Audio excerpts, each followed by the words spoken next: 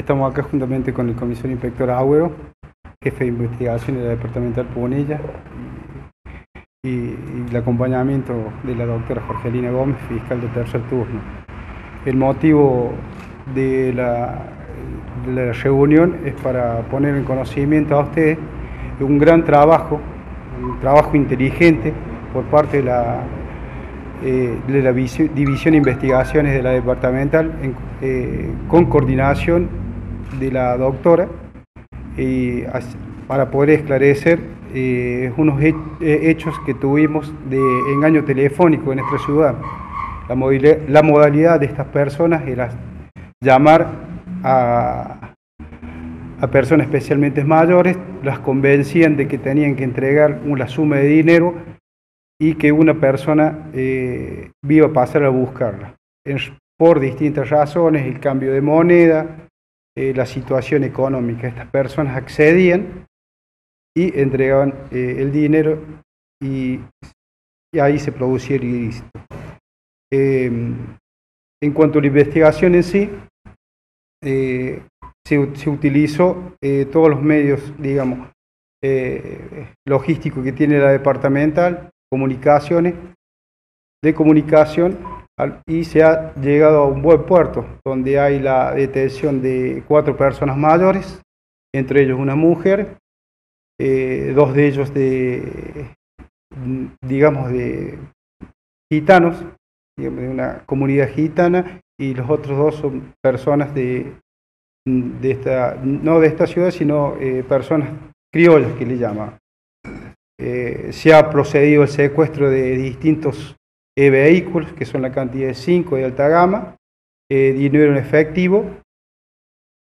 Las detenciones se han producido tanto aquí en la, provincia de Córdoba, Santiago del Estero, Mendoza, donde nos ha llevado a nosotros, a través de la investigación, a ir a esos distintos puntos para proceder a las detenciones de estas personas.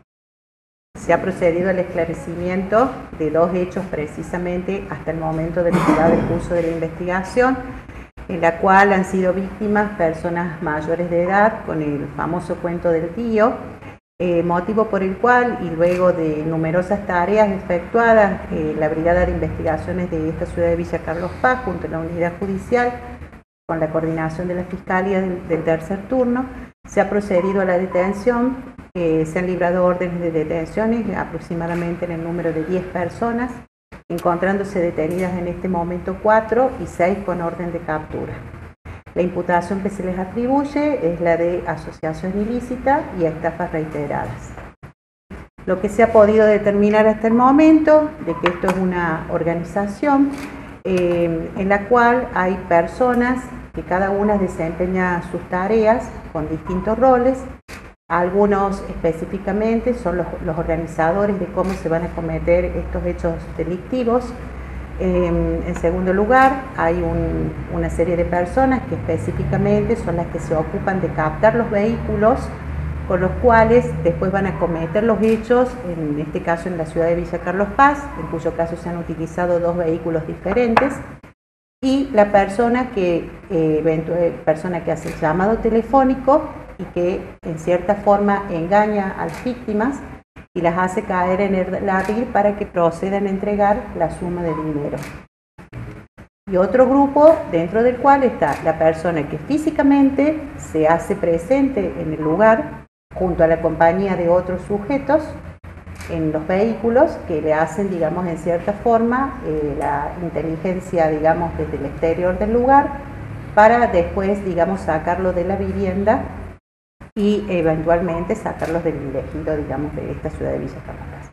Eso es lo que se ha podido comprobar hasta el momento. Las personas detenidas, ¿qué lugar ocupaban en la banda? ¿Qué función cumplían? Los detenidos hasta el momento precisamente son, en este caso en particular, el autor de uno de los, de los dos hechos la, persona que se hizo presente en los dos lugares de los hechos que tenemos comprobados hasta el momento, una de las organizadoras, es una persona de, sexo femenino, eh, una de las personas que forman parte de la banda que específicamente se ocupaban de captar los vehículos, Y también eh, eh, tenemos el que supuestamente acompañaba, en este caso en particular, a las personas que se hacía presente en las viviendas de los damnificados. ¿Alguno de ellos tiene domicilio en Villa Carlos Paz? Ninguno tiene domicilio en Villa Carlos Paz, todos en el interior de la provincia. ¿El ardén que utilizaban era el sistema bancario, cambio de moneda o de No, ellos específicamente, eh, hay distintos sistemas. En uno decían, en uno específicamente decían que iba a caer el corralito y que necesitaban cambiar los billetes, en otros que necesitaban cambiar billetes de porque iba a cambiar la nominación. Eh, en cierta forma acá lo que merece destacarse es, eh, y para llamar un poco la atención, digamos, a la sociedad en general, que cuando reciban estos llamados telefónicos de estas personas, eh, porque generalmente utilizan un ardid que hacen entrar a la víctima en un engaño tan particular y utilizan y se valen en cierta forma de estas víctimas vulnerables que son las personas mayores de edad. Entonces, en cierta forma, tratar de, que, de evitar, digamos, de que la gente cuando llamen por teléfono, dar la mayor parte de datos posible y tratar de evitar este tipo de hechos, ¿no? Haciendo referencia recién a dos casos particulares aquí en Villa Carlos Paz. ¿Se están investigando otros aquí en la ciudad y en otras partes? En la ciudad de Córdoba específicamente hay varios hechos que en principio no estarían relacionados con la misma banda que, que opera acá, que operaba acá en Villa Carlos Paz.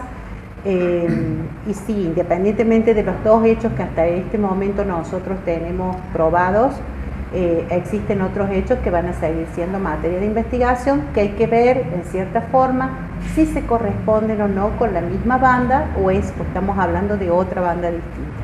¿Los detenidos tienen antecedentes? ¿Cómo? ¿Tienen antecedentes los detenidos? Sí, algunos tienen antecedentes y otros no. Doctor, ¿se ha cuantificado el monto de la estafa? Hasta el momento 4 millones de pesos.